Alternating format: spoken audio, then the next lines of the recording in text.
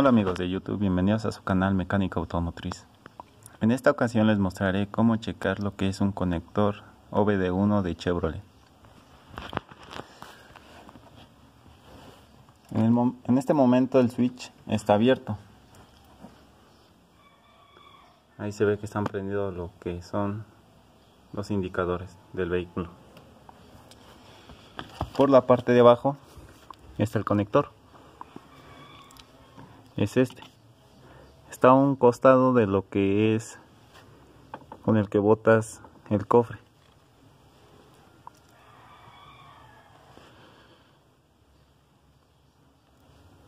Lleva abajo en este no lleva nada de alimentación. En este lleva alimentación de 9.3 volts. Yo ya lo chequé con un multímetro. Y en este no lleva nada. En este tampoco. En este no lleva nada. En este no lleva nada. En este lleva 9 volts corriente. En este no lleva nada. En este no lleva nada. En este alimentación de tierra. Y en este por el momento no lleva nada. En este. Ahora lo que voy a hacer es cerrar el switch y volveremos a checar qué alimentaciones le llegan.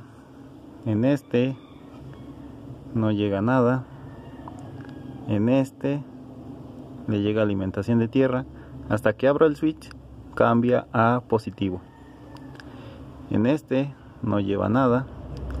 En este no lleva nada. En este lleva una alimentación de tierra. En este una alimentación de tierra. Y en este una alimentación muy mínima alimentación de tierra Ahí se ve el foquito como prende y se apaga. Cuando lo pego,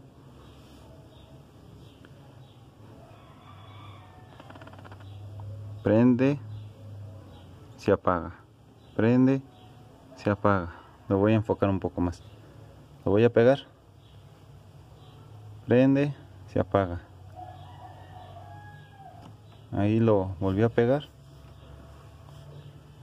Ahí se ve el foquito verde, muy mínimo, pero se alcanza a ver, se apaga. Yo ya al saber esto, en el momento que conecte el escáner, que es este conector, es el OBD1, tendré señal por parte de la computadora del vehículo.